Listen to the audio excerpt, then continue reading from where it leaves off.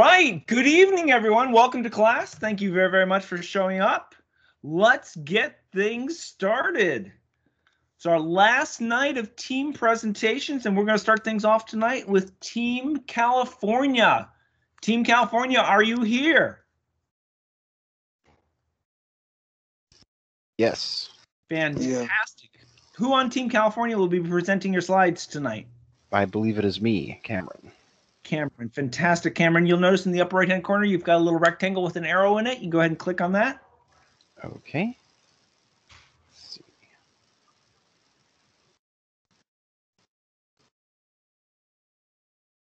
I wonder if this is. Let me make sure this is the most Ah. recent. Looks like it's doing it. Up the donut shop. Fantastic. And Cameron, who on your team is going to be starting us off tonight? Uh, I believe uh, Caitlin will be starting. Fantastic. Uh, I think it's actually, uh, Yeah. yeah, Steven. I'm the, I'm the Oh, user. Yeah. All right. All right, Steven, take it away. All right. So we are Team California. My name's Steven. We also have Cameron, Ricardo, Eric, and Caitlin. And today we're going to talk about the donut shop.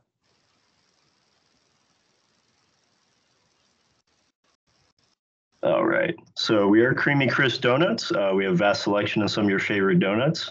Our selection is expanding as we have a new line of kale donuts because who doesn't like kale? Um, so with this historic expansion comes new challenges, and we like to create software to help us meet those challenges. So this new software is kind of going to be like a mini database, if you will. So it's going to kind of keep track of our sales, our kale supply, uh, donut inventory, and order efficiency.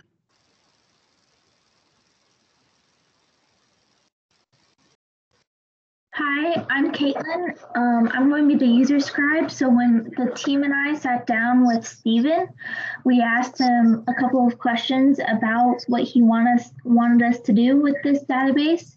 So one of um, the questions are how much kale is currently in each step and how long has it been there? How many donuts per hour they can expect to be made?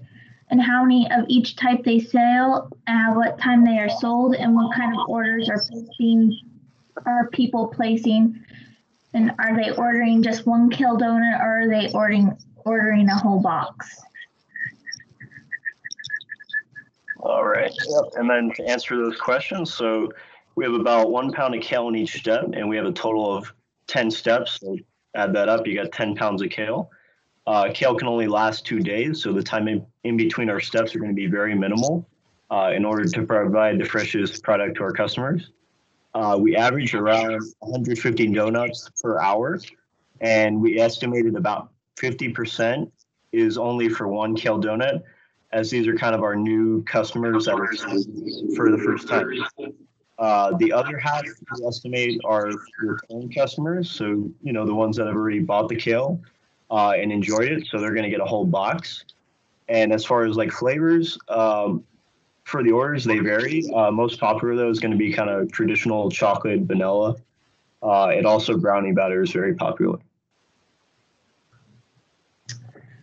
so the list of requirements that stephen asked us to do was to create a database that provides information regarding the kale donut sales including type of donut time it was sold and items per transaction and then also create a kale supply tracker mon- monitoring the stock of kale and when it reaches 1.25 tons and notifying us to order more kale and then creating a donut supply counter allowing us to be able to see the amount of donuts produced per hour and then creating a random function that help us decide on a supplier if the price and delivery time are the same for both suppliers.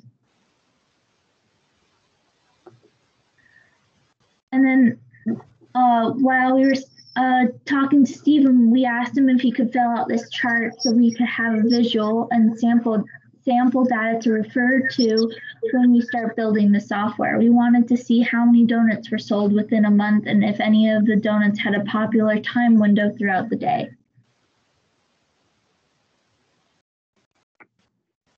Hello, my name is Eric, and I was a task grab. Um, I got with the user scribe, story scribe, so I can make a list of things that I have to make to give to um, the tester.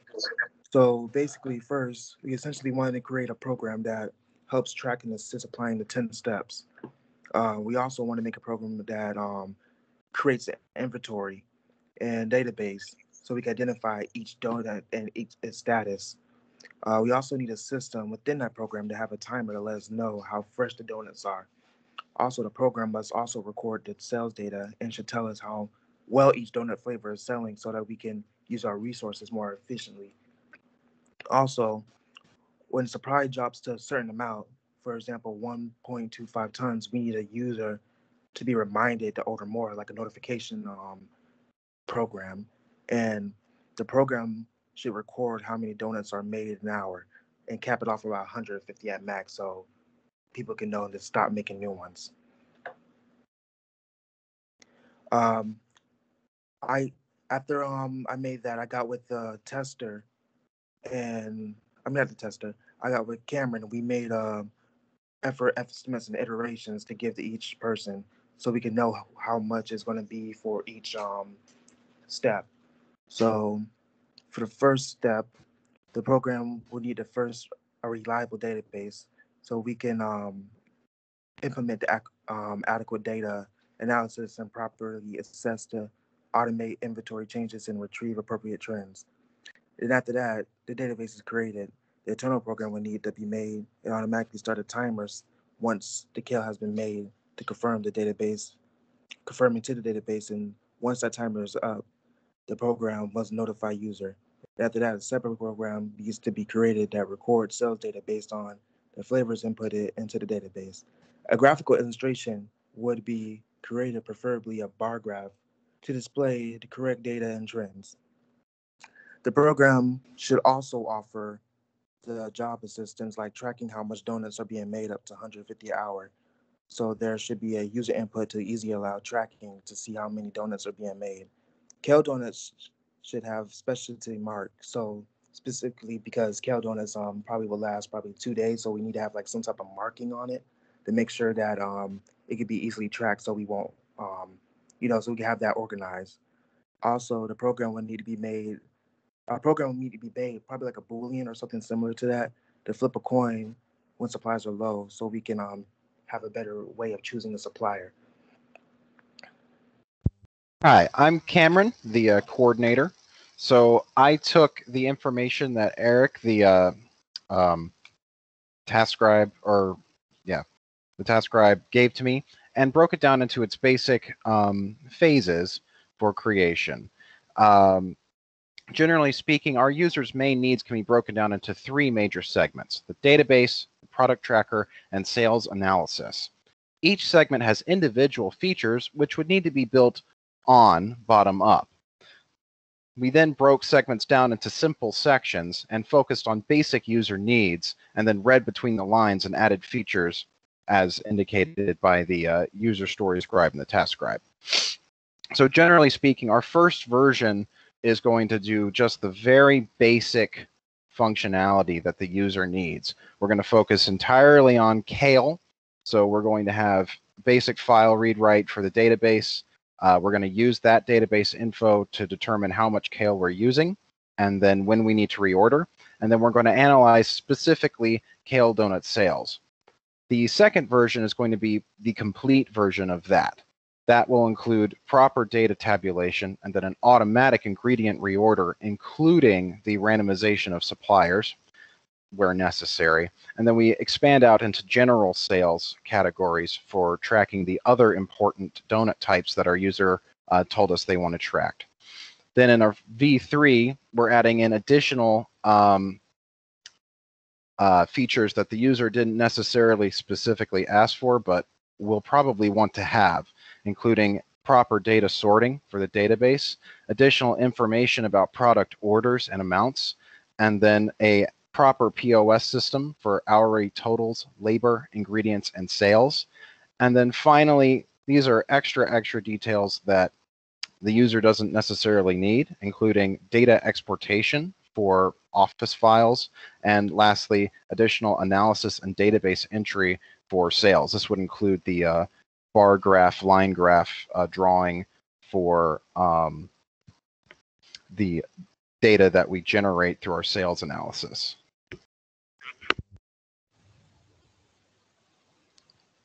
Hi, I'm Ricardo. I'm the tester. My job is to find any bugs and performance issues with the pro program that we created. So what would be tested? We will be testing if the program satisfies all the requirements.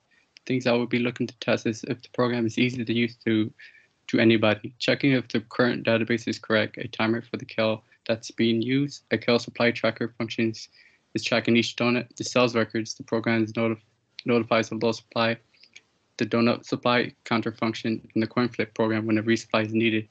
All function needs to be in working order before the final release, meaning the program is given the expected output. We also be checking if the current version of the program offers the least amount of waste, because that's information the company wants to know and need and needs. When it would be tested? After a version of the program is completed, testing will proceed and reported. A simulation will be used to test the program in real time. We also be using the historical data from previous cells. I will then discuss the report to development team about my findings continue the process to the final release. So that's all I have for my part. Do you have any questions?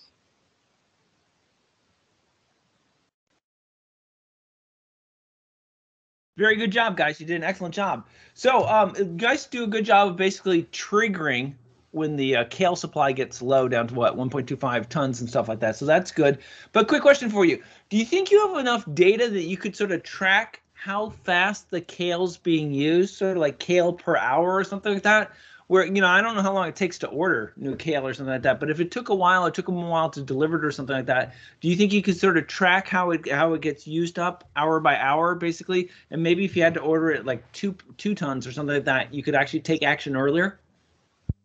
Uh, I think by version three of our program, we should be very capable of determining how much uh, kale is being used in any given hour or even any given day, and then have an our automatic ingredient reorder system trigger earlier uh, than before 1.25 to make sure that we always have enough kale.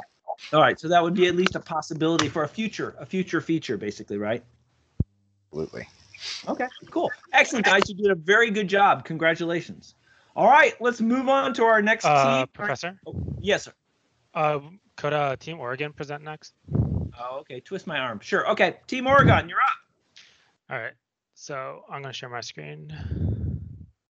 And we can have Team California stop sharing. Hello, can everybody hear me? Yes. Perfect. Hang on. Oh, there we go. Excellent. Team California did a good job of stopping sharing. Now we just need Team Oregon to start sharing. Can Oh. everyone see my screen? Hold on. Yes. Team Oregon, the phone wash, correct? Yes. Excellent. Go for it. Um. All right. My turn. Hello, I am Miroslav Mitsao, and I am the user for Team Oregon.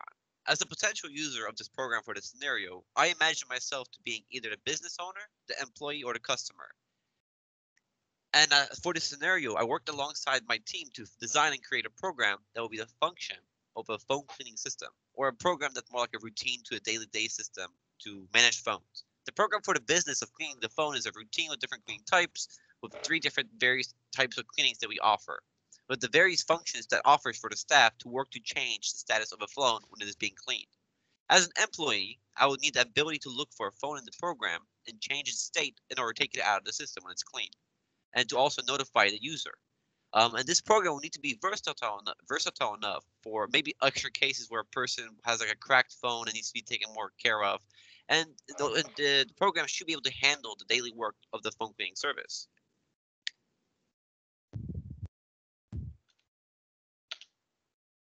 Who's next? All right, can you hear me? We can hear you. Who are you? Jessica. I'm Jessica Marino. I was assigned as the user story scribe. Uh, and as a user story scribe, I had to get, get together a set of requirements and uh, get any questions that the team had for the user and find answers to that. So, let's see. Uh, the major features of the program we needed to have was to be able to create, view, and update the phones as they are in the queue to be cleaned. Uh, we have an alert to the customer uh, on each status update. Every time it moved from one part being cleaned to the next part. Uh, we also had this alert when the phone is fully cleaned. And then uh, we also needed a function where uh, we could send an alert to everybody who had had their phone cleaned six days ago to let them know it's time for them to come back and get cleaned again. Um, I have on here some of the requirements we needed for data. Uh, so the pro needed to take in the customer name, phone number, what type of phone it was, what service they selected. Uh, also, in order to uh, support that function of calling them back in to get cleaned again, we need to also record that somewhere so that uh, with that customer data and the date it was cleaned on, so that we can send an uh, alert after six days. Uh, and I also have here some uh, the exact what the services are exactly. Because some of them here have a five minute drying time, and then the complete one they also have an additional 10 minute drying time. Uh, it's as well as the antimicrobial coating. Uh, next slide. Uh, some questions that our team had for the user. The very first one was, what happens if the phone's cracked? And uh, the, was decided the business rule was going to be that we deny service on uh, damaged phones. Um, we wanted to know, well, who's going to be using this app? And it's going to be for the employees inside the store to use. Uh, they asked if, uh, are we going to be cleaning the phones like a bunch of them at once and do it as a batch? Uh, not currently, but maybe in the future, like have an entire tray of phones to work on at once. Uh, and then another question was, how, how is the employee going to be tracking of this, the phones they are being cleaned? Um, and the phone was going to be placed into a plastic bag, and that bag was going to have uh, a label with all the data that they'll have to enter in later. Um, and then we asked, well, what are the uh, actual statuses? What are those messages going to be sent out to the user? Uh, so we'll have a message that says it started clean, uh, it's disinfecting, it's drying, it's protecting, it's final drying, and uh, your phone is ready when it's finally done. Uh, one, one big question I had was, what is this application actually going to look like, and how is it going to run? And uh, at the time, we were under the impression that this homework was like all the other ones, where we could only use uh, what had been taught in class. So that limited us a lot there. So we had to pick a command line like we've been uh, programming, and uh, we just imagined it as something where you could type in a command for uh, to send the reminder alerts, a command to uh, change what step on the cleaning process a certain phone is, and then a, just a command to close the program. Hi, my name is Connell Murch and I am the task scribe. In order to fulfill the requirements set forth by the user and user story scribe, I've come up with this data structure and logic flow that would be used to create the program. We start with the work order data structure that holds the information such as the customer's name, the phone number, the type of service, basic plus or complete, cleaning stage, if the cleaning is done.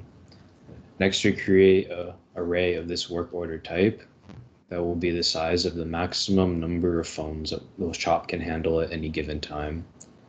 Finally, in order to keep track of which spots in the array are open and ready to use, we will create an int array of some kind of some of the same size that will hold the indexes of the open spots in the work order array. Next comes user input.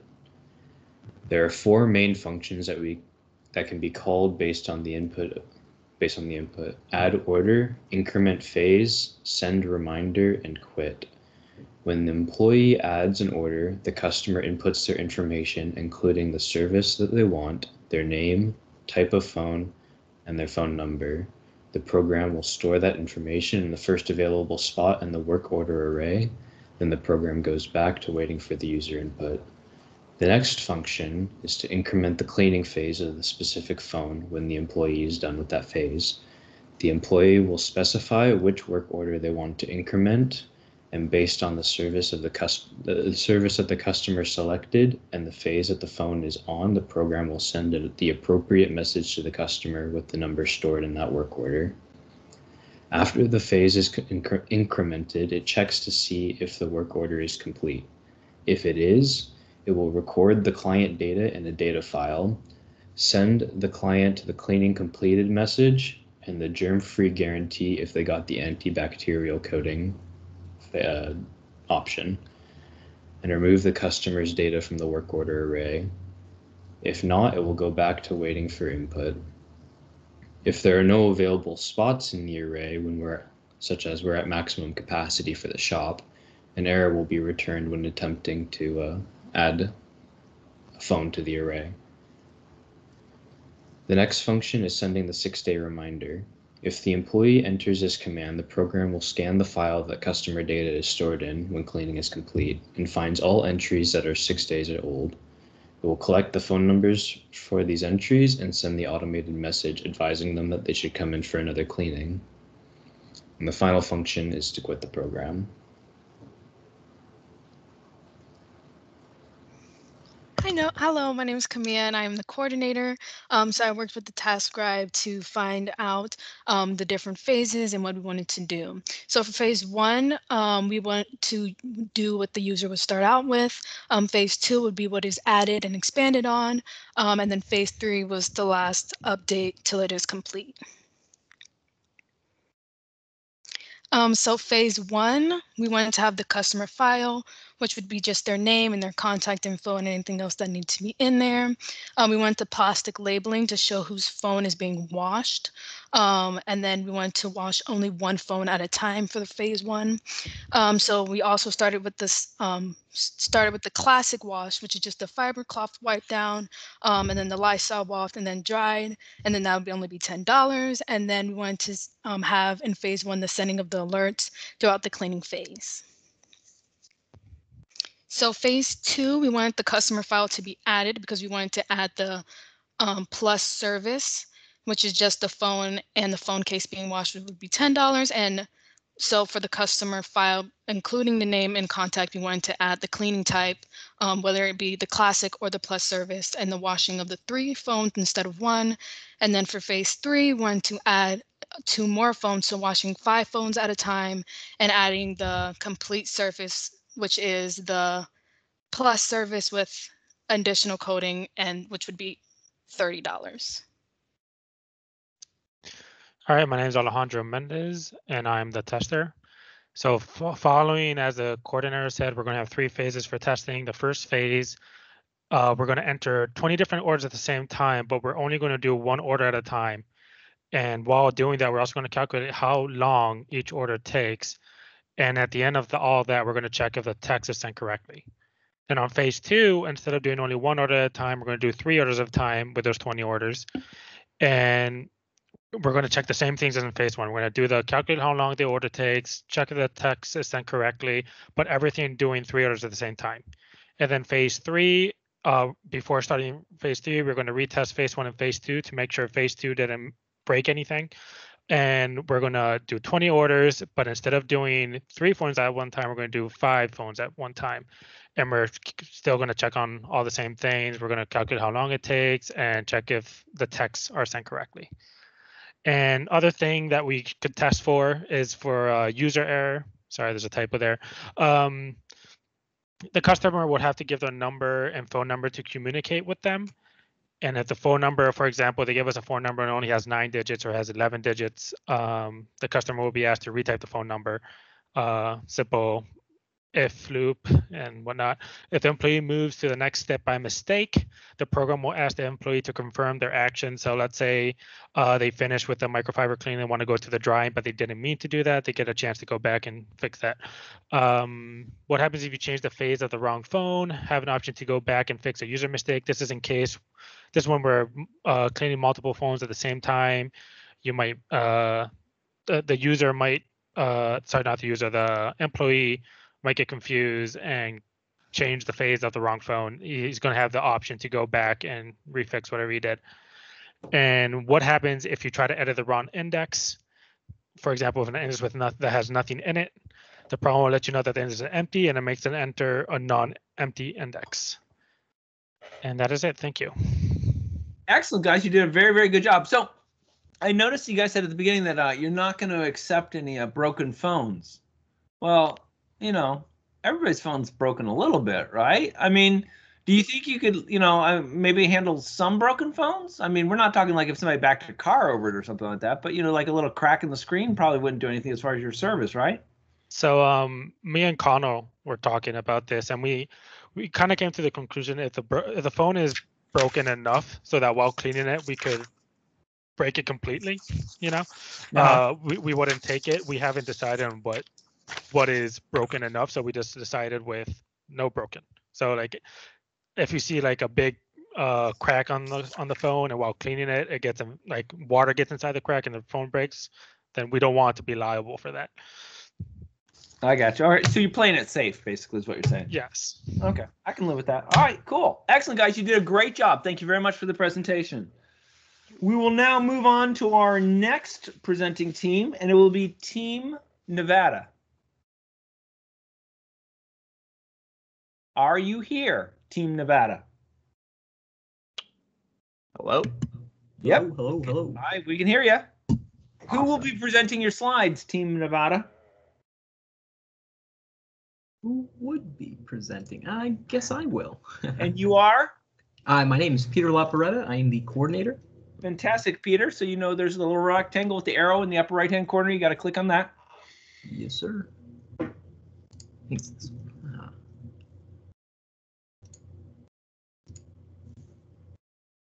Whoop, Paw Pounds. All right, fabulous. So- And who will be going first on your team, Peter?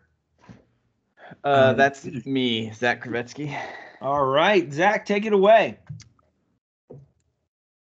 All right. Um, so we are uh, Paw Pounds. Uh, I will be the the user. Um, so basically, the program uh, that needs to be created is um, one where the employees can enter information about uh, pets being brought into the pound. Um, well, first of all, I guess the company is um, a weight loss program for pets. So um, people will bring in their pets, and we have like exercise program and food programs. Uh, so the the program's going to need to take in some points of information from the user, um, such as the name, customer name, uh, the pet name, the address, phone number, a whole bunch of stuff about the vet, vet phone number, um, all that type of stuff in case you know anything happens to the pet. We want to know, you know, like the vet uh, information and who to contact for that. Um, also, uh, each time the pet is brought in, um, the program needs to capture the weight, the current weight of the pet, um, so that we know um, the current weight and then also the goal weight for the pet. Um, from there, we get the information of how long um, the customer would want their pet in the program. So, like, how intense or rigorous, I guess, the weight loss program is. So, the more weight they need to lose in less amount of time, um, the more rigorous the training will be. Um, so there's a few different types of uh, meal programs that we offer. Um, it's the amount of food, how much food, uh, how much food each time we give them food. Um, and then we also have exercise programs, which consist of walks, fetch sessions, um, treadmill walking, and swimming. Um, each time the pet is brought in, the weight needs to be documented so we can see the overall weight loss journey of the pet. Um, also, how much food and stuff they're eating outside of the um, the weight loss program and stuff, so we can document that, make sure we have all the information uh, so that we can address that whenever the pet's brought in. Um, also, as kind of like a success story, we'd like to um, display the pets in a list of like how much weight they've lost. Um, so like it t- displays like their um, their starting weight and then how much weight they've lost in their current weight.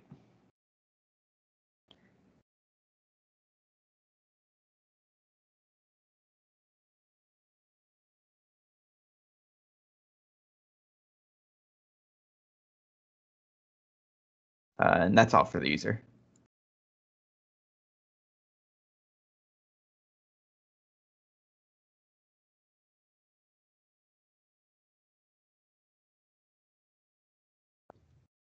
Generally, we'd move on to your user story scribe now.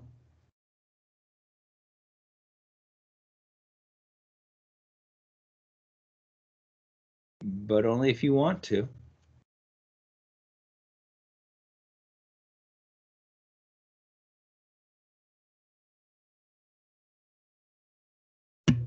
Seems like he's having a problem with his mic right now. Uh, can you just give us one moment?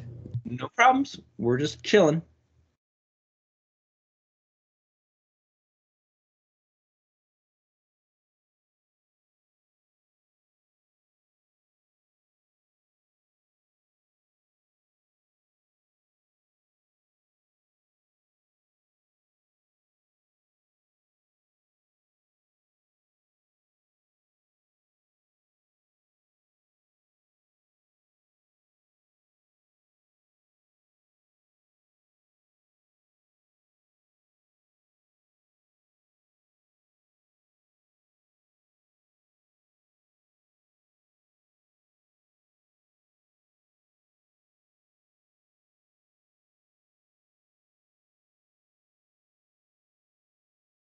Should we skip to the next person and then circle back and pick up your user story scribe? Would that work? Uh, yeah, I think that would be a great idea. Which would probably be your task scribe. Is that correct? Yes, sir. Uh, and our task scribe is is he here too? Or Yeah, we can you hear me? Ah, there we go. Yep, we can hear you. Who is this? Uh, this is Nick. All right, Nick, take it away, man. All right, so I was talking with the user story scribe, and we decided that the we should make a GUI interface for our program, and it would be developed by using an API. And we would have it so that each display is based on the icon that is interacted with in the GUI. So if the user clicked one icon, it would display other results, et cetera, et cetera. And the first icon would be inputting and editing the specific information of the pet. So like its weight, what kind of breed it is, et cetera, and other relevant information like when it was born and how old it is and things like that. The second icon's information would be based on a given pet's weight and then how far they are in their weight program. And so then the meals would be curated to each pet. So the information and results displayed will be based on an algorithm. Um, certain variables that would be part of this algorithm would include like the weight of ingredients, what kind of ingredients are in each meal, and the meals would be displayed based on the given day. And the total calorie intake would be based on all of the meals and if this would all be curated towards the pet's weight and how far they are along in their weight program. The third icon's information would calculate how many calories a given pet needs to burn based on their current weight. Therefore, the user would ask would be asked to input specific information based on the exercises that their pet has done. So when they want to input or update their weight program, they would say, you know, if their pet ran and for how long, things like that. So um, it'd be how long it was done for and how much of like a weight loss or how many calories were actually burned. The calories that were displayed would be based on this user's input, and then after the program, or this would be after the program adjusts the pet's needs based on what the user put. And the leaderboard system would be a simple list of proportional goals. So at the top, it would show like the highest percentage of like a pet's or how close a pet would be towards its actual weight program. And then it would compare the current weight to the goal weight, and that's how the percentage would uh, come up. And it would show a descending list of percentages with the closest goals being at the top, like I just said. And the pet weights would consistently be updated in the database to make sure that the displayed information is as current as possible.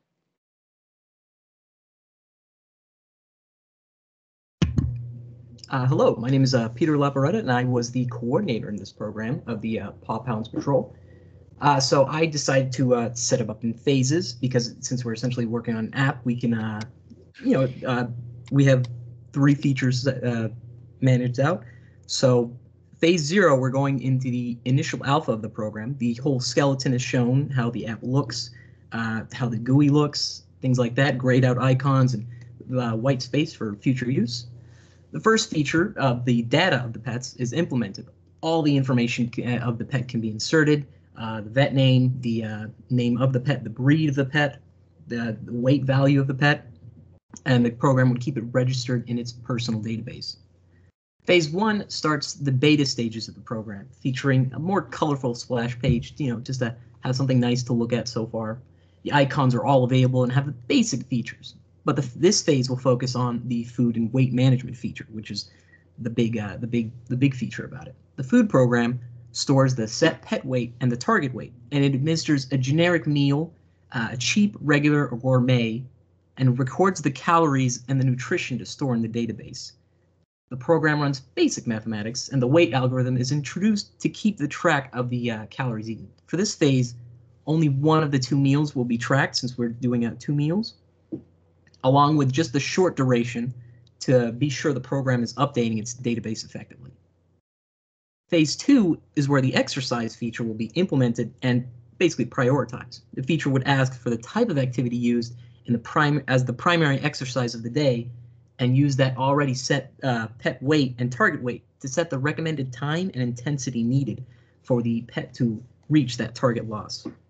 Only walking and swimming will be used in this phase for now, since those require just you know basic kilometers or basic uh, basic steps. Phase three will implement more work into these food and exercise programs. The meal plan will be upgraded to include actual brand food like IAMS or uh, what else is another one? Um, I don't have a dog, so I can't really figure that one out.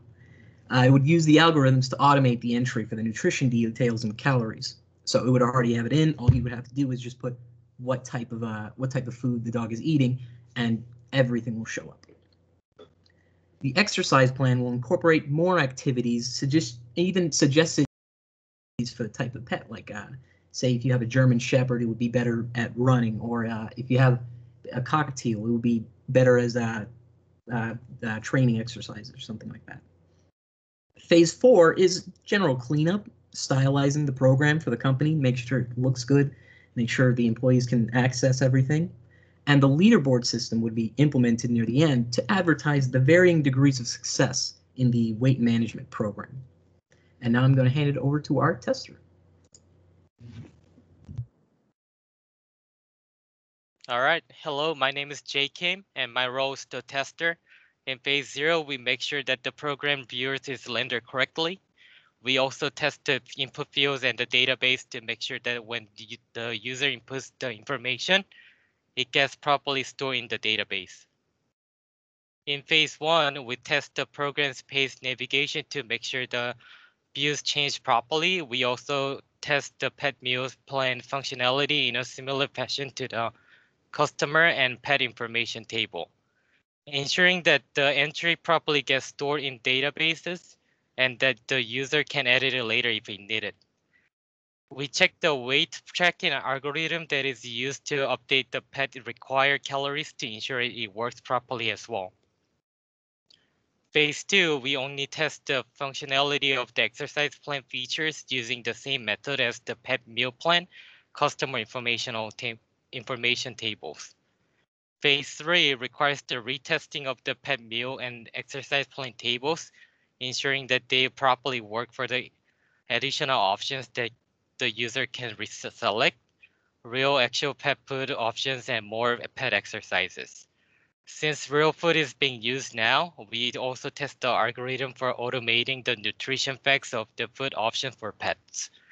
Phase 4, all features of the application are double checked for any bugs, and we test the leaderboard sorting algorithm and the leaderboard display when it is properly implemented. Thanks every for, everyone for listening to our presentation. Hey, can you guys hear me? Hello? Anybody? Yes. Is this is this the other Zach? Yeah, yeah. I uh, luckily I uh, I make music and I was able to get a uh, what is it? An extra microphone from upstairs. That's pretty that actually, impressive. Not that bad. actually works. So Fantastic, sir. So tell us what the user story scribe did about did on this project, sir. Okay, so what my job was was to essentially take like the user's um, like story, like what he wanted, and create like an exhaustive list of things and like set up a foundation for the app itself, right? And uh, yeah, so there's a lot of components that go into like making like a complete app according to what the user wants. Like the first thing I figured we would need was uh, what is it, a GUI written like in like C that relies on an SQL database to store and keep the data secure. Um, so like you know like most apps tend to have uh, like a really pretty like graphical user interface, and uh, we you know we wanted to achieve something similar to that. So we figured uh, what is the GUI will have a menu at the top with three different icons for the different data that the app is supposed to display. I'm thinking like something uh, what is it that's like what is it designed that you can what is it select you can select from and just overall like really care about like the general aesthetics of the like app and the way it looks as well as the functionality behind it. So uh, i say the first icon would correspond to the specific customers like inputted information. So it's like an informative tab. The second um, relates to the food program displays information regarding that and then the final shows the exercise program. So it's like three main like icons essentially in the uh, GUI. So um, yeah, so uh, I guess like specific details behind it is that uh, you know the first tab is going to be storing the pet's name, customer's name, customer's address, phone number, the type of pet, and like there's a list of different subcategories for that, like dog, cat, bird, rabbits, gerbils, hamsters, ferrets, and others. It shows the customer's name, the customer's phone number, the weight of the pet, the target weight, and then uh, it also shows the desired duration of a pet's stay. And um, of course, you want to be able to update that at any time if uh, what is it the patient decides to change. And uh, the second icon manages the food program. Something really important that I realized because like I've personally looked into like nutrition in the past because it's something that like interests me a lot and uh, that I care for, like when I'm going to the gym and whatnot. Uh, essentially, in uh, something that's really important is if you want the dogs to continue losing or the pets to continue losing weight on a consistent basis, then you actually have to make sure that you adjust the caloric intake uh, that they have and their nutrition based off of their new weight. Otherwise, weight weight loss will actually stagnate. So um, I came up with a general formula for um, like how much we should be feeding each given pet, and I just kind of assumed that it would be similar to uh, human bi- biology in that regard. That it'd be like five times their uh, like what you do is like you take the calories and you multiply five times their current total body weight in pounds and then there's I believe two meals for um, that follow that formula that you give the pets a day, and uh, because it's going to be less than uh, their typical caloric like intake, odds are they're going to be finishing all the food because they're going to be hungry, and they're going to continue losing weight at a um, was it consistent basis, which is one of the most important things behind the app. And then uh, finally, I say that the third icon will keep track of the exercise program. The um, different exercises in this category are walks, fetch sessions, treadmill, and swimming. And uh, it, this tab displays what is it like how many calories a pet should be aiming to burn each day, as well as like all the different like exercises that uh, are involved in the program. And then I'd say um, the very last thing that's uh, necessary within the application and the uh, GUI is at the top. There has to be a uh, was a big red button has like a leaderboard that displays um, what is it all the different uh, like pets that are like currently in the program, and I guess this like helps to keep the uh, different pets motivated or like the owners in order to uh, I guess show them their progress compared to others, and uh, I guess somewhat add a competitive side to this. Maybe just to um, was it inspire? Was it the pets to lose a little bit more weight? And then uh, yeah, it's also important that the system is percentage based because if you're basing this off of like how many pounds that a given animal is losing, it's pretty obvious a really obese dog is going to lose a lot more weight than like a chunky kitten. So uh, you have to uh, account for that. So like the percentage of a total body weight lost rather than just pure pounds, because in that case, it'd always be the fattest animal that's at the top of a leaderboard. And yeah, that's a presentation. Excellent, guys. Very, very good job. So, uh, good job. Uh, you know, if you've ever seen a dog, you know that you know there are certain breeds and stuff like that that have like a lot of hair. So, you know, if I took my dog to like the groomer and got all the hair cut off, you know, the dog's weight's going to go down just because of that. Is there any way that your program could like account for dramatic weight loss that had nothing to do with your program? That's actually a uh, that's actually a good idea that I personally uh, what is it? Uh, I guess I didn't think of originally, but what I would say would be a good means of doing that would be rather than just weighing based off of simple body weight, you actually um, what is it? Use something like a DEXA scanner. It would be expensive, but um, you would actually be able to tell like how much body fat, like the body fat composition of the pet, as opposed to just like the pure weight that could change based on any given factors like hair loss or uh, like water weight. I feel like knowing a specific amount of the breed of the uh, type of pet we have would probably help as well. So like uh, if you would have like a, a breed of dog that normally tends like a lot of has like a lot of hair or a lot of fur, you would probably uh, try attempt to uh, try and put that in into the system that oh you know uh, a certain amount of pounds could be lost depending on the uh, yeah uh, hair loss something like that. Gotcha. No, that works. You just got to think about it. Otherwise, woohoo, look at that. we dropped 10 pounds. Like, oh, wait, oh, they just got a haircut.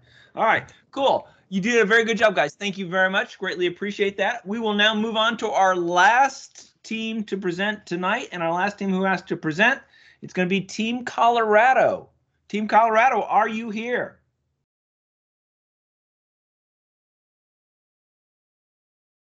Yeah, hello. Yeah, hello. We can hear you. Hey, who's going to be presenting from your team? Um, it should be Cornell. All right. So Cornell, you got a rectangle in the upper right hand corner and an arrow going into it. If you're here, if so, you should go ahead and click on it and share your slides with us.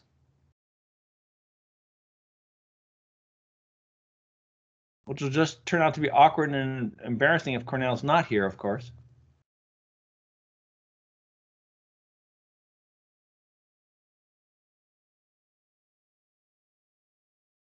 Or, you know, I might be the only one here.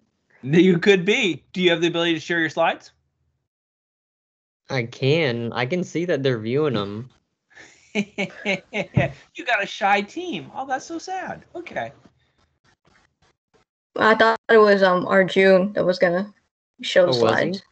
Yeah, he said he was going to. Oh, Well, that's sorry. fantastic. Then he has to speak up and say he's going to do it. Yo, Arjun, you there?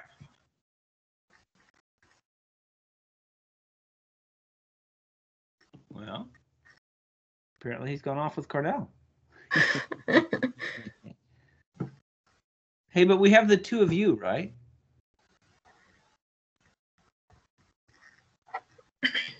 I guess. Uh, let's pull it up. All right, let me. I've got the script up. I'll go get the PowerPoint. All right, go for it.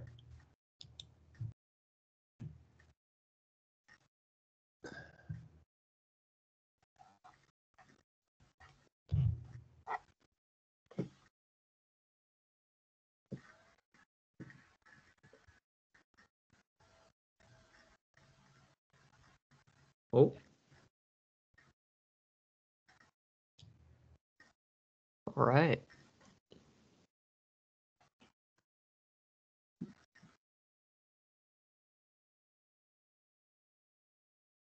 You know, it's interesting because uh, Arjun seems to be here. Cornell does not seem to be here, but Arjun is here.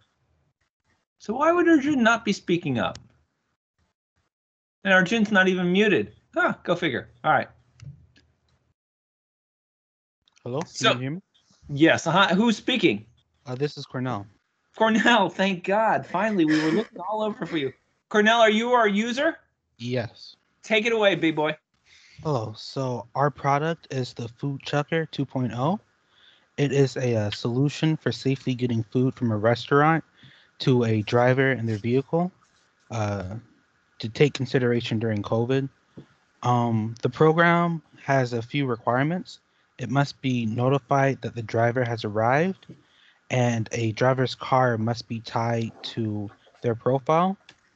The program will also need to detect when the window has rolled down, and then the um, the food chucker will begin to send the order to the driver. So the way that the food chucker works is that it launches food towards the vehicle, and there are three speeds that the launcher can launch at.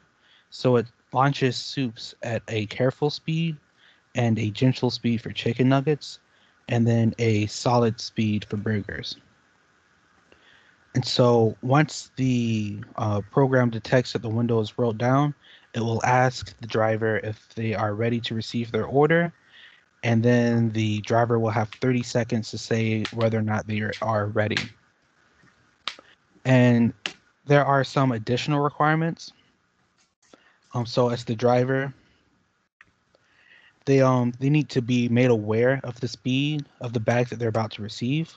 So they should know if they're about to have a um like a burger launched at them or if they need to be prepared to catch a soup. Um the program should also take in consideration the weather and the program should also know like which spot the driver is parked in. And there are also concerns for the um, restaurant. So there should be a weight limit for each bag, and the restaurant should be made aware of the weight limit and keep that in mind. And the restaurant should also keep in mind the size of the bag that's going to be launched, um, the size of the bag that can fit through the window, so that they're not trying to send in too much into like a small car. And there's one more thing I forgot to mention is that an employee will be sent out if a um if the driver is unable to receive the order normally. Um, the employee will come to bring the uh, food to the vehicle, and the employee will also be sent out if um, there's just no response from the driver um, after a while in case like the driver left.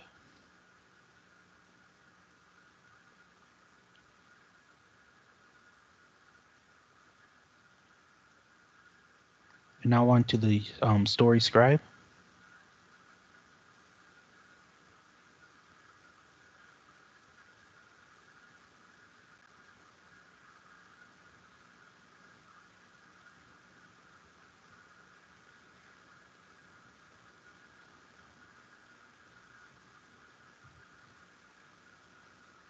And who will the user story scribe be? I believe that's Vanessa. Well, we heard her earlier, so we know she's here. Oh, Vanessa, did you mute yourself?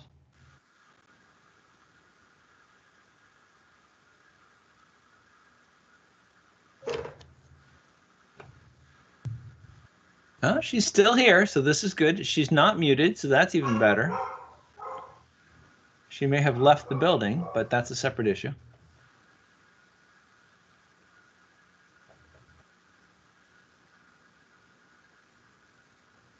All right.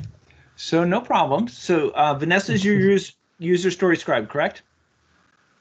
Yes. If we can't get in touch with her right now, which is perfectly okay, who's your task scribe? That would be me, John.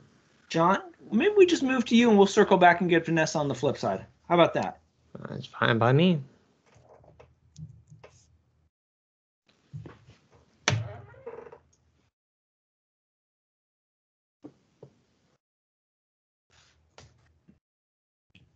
Of course, whoever's in charge of the scri- uh, slides has to sort of like move them up. No, they got it. They got it. I was just waiting on them. Um.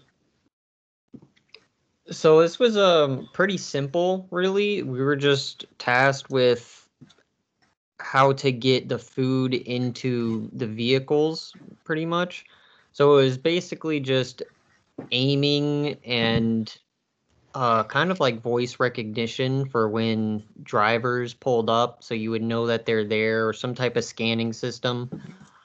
Um, so basically, what I did here was I just made like simple, basic steps to go through how it would work, and um, so to begin with, our scanners would identify if there's a lane occupied. We only had two lanes, and we only had uh, one launcher per lane, so there was no need to aim uh, between lanes, for instance. If we had like four, there's not one launcher that has to change between each lane. It's just, you know, there would be four launchers, one for each uh, each lane.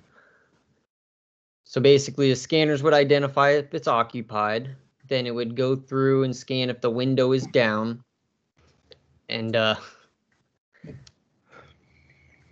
then uh, if it was determined that the windows weren't down, it would turn the speakers up louder and ask them for an order number or send out a person to actually like knock on the window and get them to, you know, reply in some way.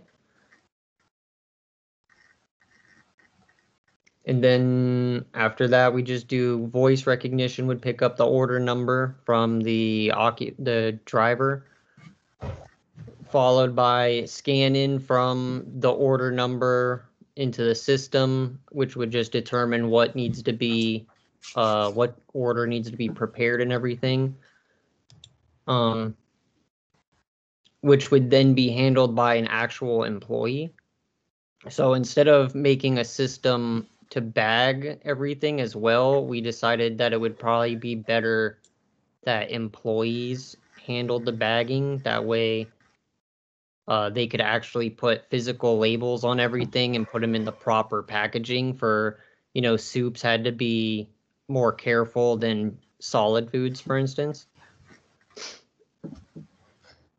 Uh, then it would basically ask for a confirmation if the driver is ready and if the if there was no answer or if the answer was no it would wait you know 20 seconds or so and then it would ask again uh, we determined that after about three times of either no answer or saying no we would send out an employee just to make sure everything was okay or if the driver was still there you know whatever it may be and um yeah, we had, like I mentioned earlier, we had labels on the bags to determine if it was like soup, solid, drinks, whatever it was. And so there would be a scanner that would scan in the label and then automatically program the launcher to do uh, like the light, slow movements or, you know, a big arc that was nice and fast into the window, whatever it had to be. And um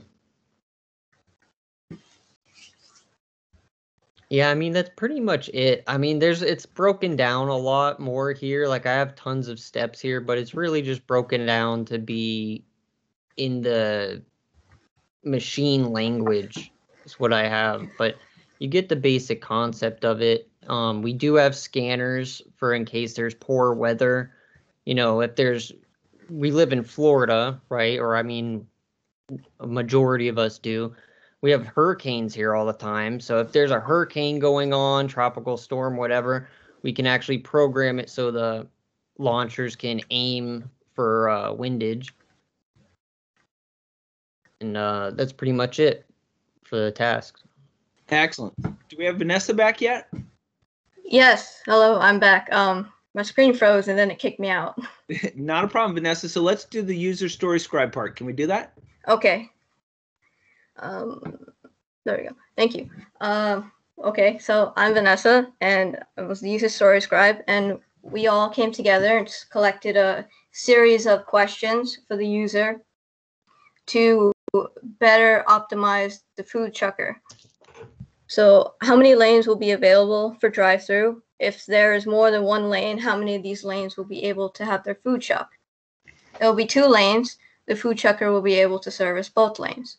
What type of vehicles will not be able to have their food chucked? Is it because they're too high or too low? Large commercial trucks will not fit into lanes and cannot have their food chucked. Motorcycles can have their food chucked and should have special have a special window size. Other large vehicles can use a lane without an awning. Based on the size of their vehicle, the system will know what size of bags will pass through the window. Based on the type of food ordered, will the more fragile items, like soup or liquid, be chucked or will they be placed in special containers to prevent spilling? Um, all food ch- all food types can be trucked. Assume liquid is in sealed and airtight containers to prevent spillage. Just be careful to set uh, uh, set them as gently as possible into the bags to not rupture. What is the maximum size? What is the maximum weight per bag of food? Items should not be mixed. Only two items per bag. The customer will be notified of the weight of each bag and the speed of the bag coming in. Depending on what was ordered, the food can be hot or cold. What precautions can be taken to ensure the hot food does not burn the customer? If the food is hotter than, nor- than normal, a special thermal bag must be used. The driver must be notified that the hot food is being chucked. Um, uh, hold on, I can't really see that. Oh, there it is. Um, how will weather affect food chucking? Will there be an awning or wait, uh, go back. Thank you. Uh, will there be an awning or a special type of roof that covers the car when they drive in to their spot, or will there not will lanes not be able for use during bad weather? For bad weather, an employee must be used to deliver the food. All drivers will be notified when an employee is sent out to their vehicle. Next slide. Um, what happens when food is ready to be chucked, but the driver never responds yes? Does the system repeat itself after a certain number of seconds, or does it signal to an employee to intervene?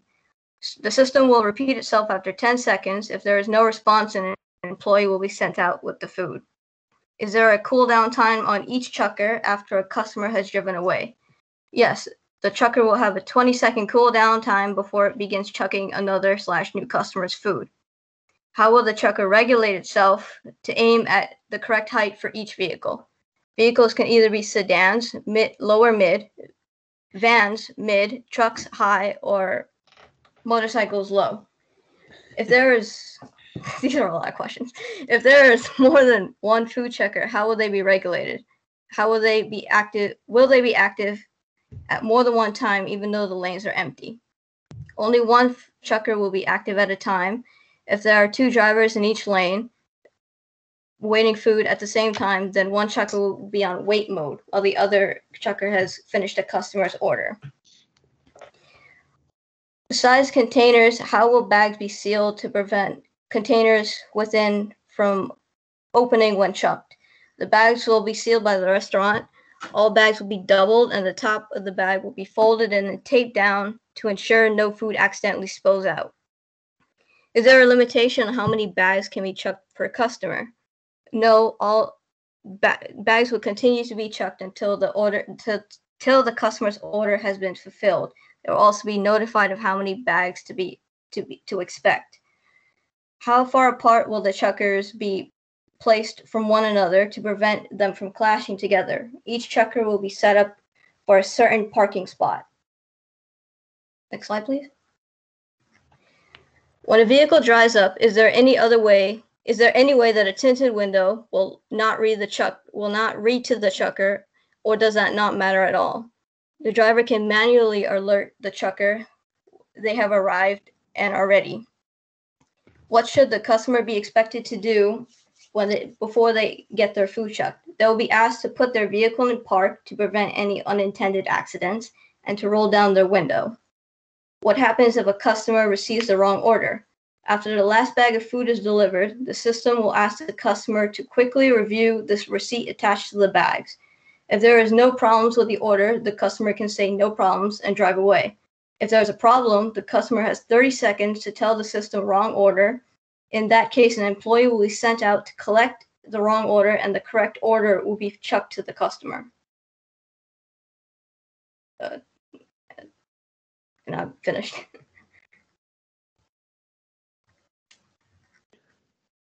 All right. Um, Arjun said that he needed to restart uh Teams really quick to get his mic to work. Uh, he's the next one up. So the presentation is going to go down for a second.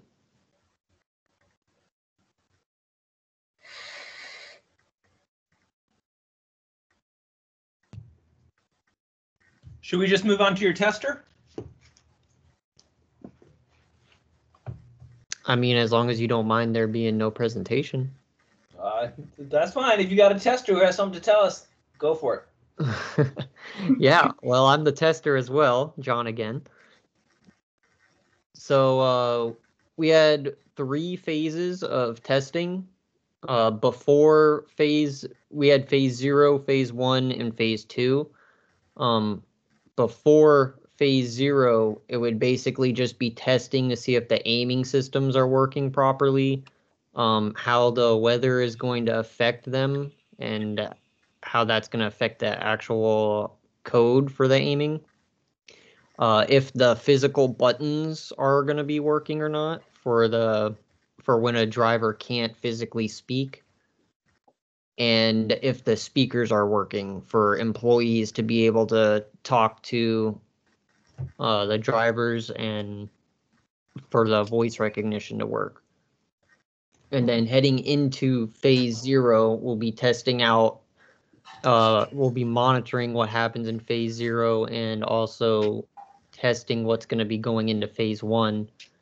It'll just be the timers for when the drivers are saying no we're not ready or uh, no there's a problem as in the it's going to have to ask them after about 20 seconds again. So we're seeing if the timers are now working. We're going to see if the menu boards are clearly visible to the drivers and make making sure that they don't get in the way for any of the aiming of the actual chuckers themselves and then we're also making sure that the vehicle scanners and detectors are working as well. And then into phase one now, we're going to be testing out uh, the two lanes. So now we have more than one lane open. We're going to be up to more functionality. And um,